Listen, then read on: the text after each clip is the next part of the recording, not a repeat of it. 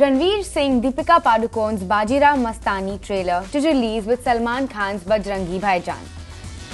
The official trailer of filmmaker Sanjay Leela Bhansali's upcoming historical romance film Bajirao Mastani, starring Ranveer Singh, Deepika Padukone and Priyanka Chopra, will release alongside Bollywood superstar Salman Khan's Bajrangi Bhaijaan on Friday.